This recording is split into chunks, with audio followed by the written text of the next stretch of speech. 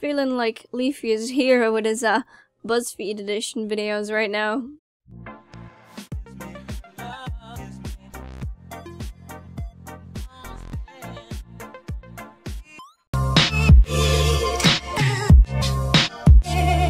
But I decided to take two other YouTubers' good concepts and put them together to make my own type of kinda extremely unoriginal, but I like to think it's original type of content. So yeah, I saw a bit of a trend going around of people doing BuzzFeed quizzes that were absolutely horrible and unironic and just painful to do. And then I also am a avid viewer of um, I Hate Everything, Search for the Worst, so I decided to take those two things and combine them and make something that seemed sort of original, but is in no way extremely very unoriginal and just no, no. But today I'm doing a, a quiz on BuzzFeed called How Privileged Are You?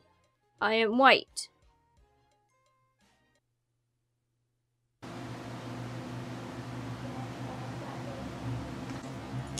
I have never been the only person of my race in a room. Well, technically, we're all the same race.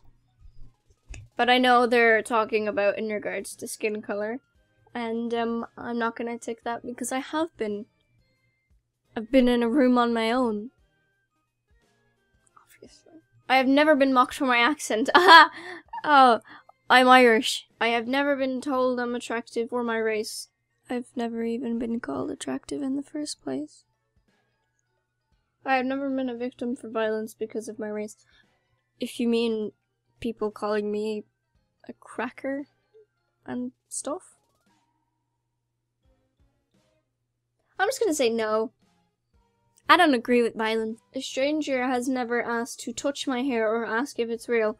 That's just that has nothing got to do with privilege. That's got to do with how you style your el- Okay. I am heterosexual. I have never been called a fag. It's the internet. I have never been called a dyke. It's the internet. I am a man.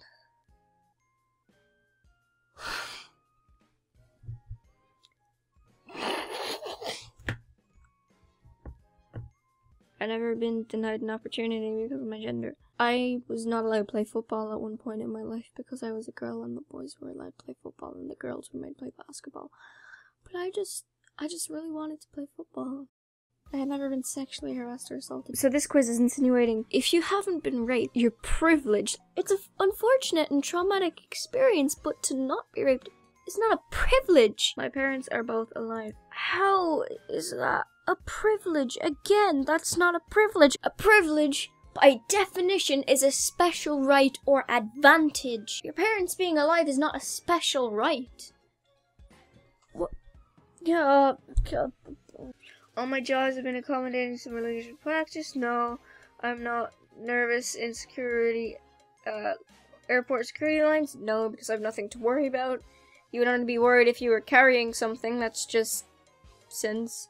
No matter how you look or how you are, as long as you're not in the wrong, I feel like you should just try and put that out of your mind and continue on.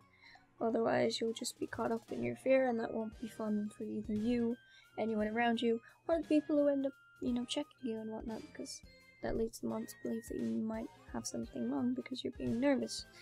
It's kind of how people think.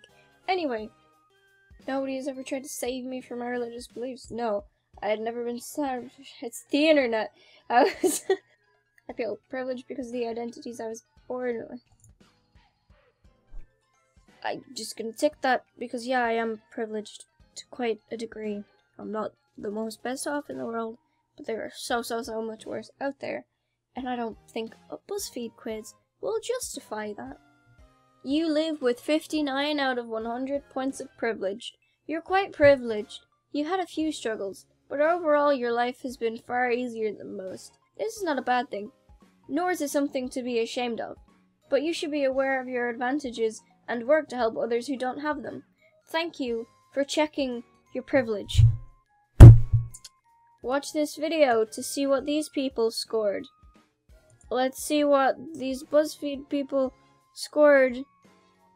I guess open it up in YouTube because. Uh, A few moments later. It was just your average crappy BuzzFeed video that gets 3 million views with intense background music that doesn't fit and extremely melodramatic people and statements. I'll leave a link to this quiz in the description if you guys want to take it yourself, and I'll also leave a link to the video in the description that's at the end of the BuzzFeed. Now, if you excuse me, it's time for me to go take the quiz on how BuzzFeed knows how smart I am based on my taste in eggs.